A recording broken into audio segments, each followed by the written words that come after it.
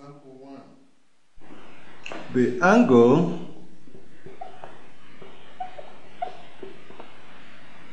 between an incident ray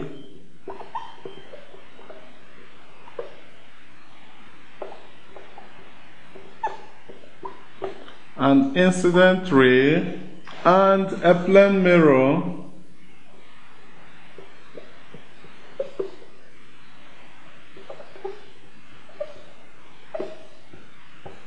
is 35 degree. Calculate number one, the angle of incidence.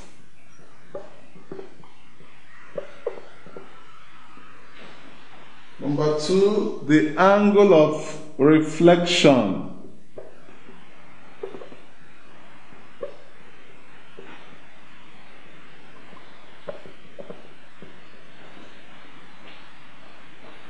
Question number three, the angle through which the light ray is turned.